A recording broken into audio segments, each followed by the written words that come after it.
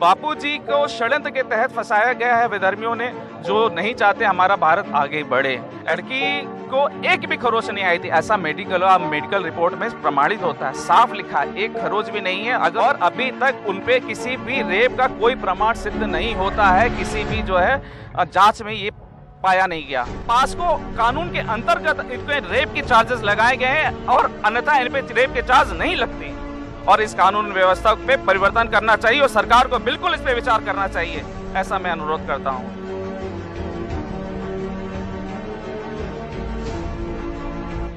मैं संजय सिंघानी कानपुर युवा सेवा संघ से हूँ और आ, इसी से जुड़ा हूँ और इसी से ही सेवा प्रचार आगे करता हूँ। मेरा बिज़नेस है बॉक्स का मेरा फैक्ट्री है मेरी उसमें जो है चप्पल जूतों के जो है डब्बे बनाए जाते हैं बॉक्स वगैरह तो वो मेरा काम है। सालों से जुड़े हो? मैं बापू जी से कम से कम सत्रह अठारह सालों से जुड़ा हूँ। ये जो बापू पे जो आरोप लग रहे हैं बापू छः सालों से जोधपुर जेल के अंदर बने उसके बारे में क्या कहोगे?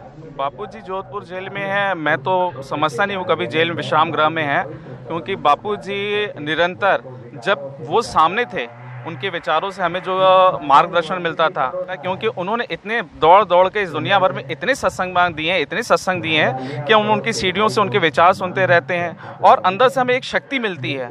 जब भी हमें कोई कमज़ोरी लगती है, कोई लगता है कि हम हार रहे हैं या विकार हम पे हावी हो रहे हैं या समाज की बातें हमारे कानों में घुस रही हैं और हृदय में घर कर रही हैं, तुरंत हमें बापू जी दिखाई देते हैं और उनके वचन हमें का याद आ जाते हैं स्मरण में कि नहीं, ऐसा नहीं, ऐसा सत्य के मार्ग पे चलते रहना, जब भी चलना सत्य के मार्ग पे चलना युवा वीर बने रहना। हाँ, लेकिन लोगों का तो ऐसा कहना है कि गलत गतिविधियाँ होती है बापू और आश्रम के द्वारा। तो उन लोगों को क्या कहना चाहोगे? मैं उनको कहना चाहूँगा ये सब एक विधर्मियों का षड्यंत्र है। और षड्यंत्र मात्र है उसमें हम न फंसे ऐसे और भी हमारे काफ़ी संत महात्मा हो गए महात्मा बुद्ध हो गए। उनके लिए न जाने क्या क्या क्या किया लोगों ने। विधर्मियों ने यहाँ तक किया स्वाद क्या कहते हैं महात्मा बुद्ध के लिए कि एक वैश्य को जो है मार करके उनके जो है बाग में गाड़ दिया।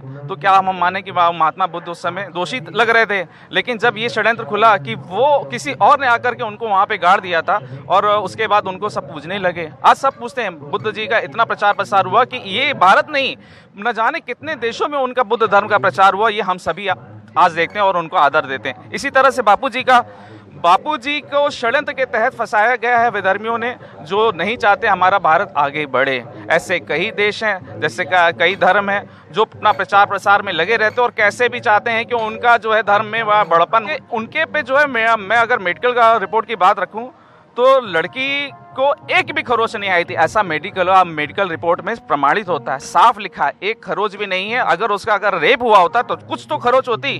जब इतना ज़बरदस्ती करो एक खरोच ना है। वो हिले डुले भी ना। मैं नहीं मान सकता। और अभी तक उन उनपे किसी भी रेप का कोई प्रमाण सिद्ध नहीं होता है। किसी भी जो है, जाँच में ये पाया नहीं गया। तो उनके पास कोई प्रमाण नहीं था, कोई एविडेंस नहीं था कि वो रेप के लिए बोल सकें। उन्होंने साफ़ बोला, पास को कानून के अंतर्गत इनको रेप के चार्जेस लगाए गए हैं और अन्यथा इन पे रेप के चार्ज नहीं लगते हैं। और इस कानून व्यवस्था पे परिवर्तन करना चाहिए और सरकार को बिल्कुल इस पे विचार करना चाहिए, ऐसा मैं अनुरोध करता हूँ। आपने देखा सत्रह सालों से संत आसाराम जी बापू से जुड़े हुए इनका यही कहना है कि आश्रम के अंदर कोई गलत गतिविधियाँ नहीं होती और बापू के द्वारा समाज उत्थान के ही कार्य होते हैं। और आज भी संत आसाराम जी बापू को ये भाई निर्दोष मानते हैं। और लगातार सरकार से भक्त लोग एक ही मांग कर रहे हैं कि जल्द से जल्द आसाराम जी बापू को रिहा किया जाए। कैमरामैन कैमरामैन अंजनी के साथ नीलेश ठक्कर संत श्री आसाराम जी बापू आश्रम कानपुर से रफ्तार न्यूज़। हमारे चैनल को सब्सक्राइब करें। उसके लिए सब्सक्राइब बटन दबाएँ। नए वीडियोस का नोटिफिकेशन पाने के लिए बेल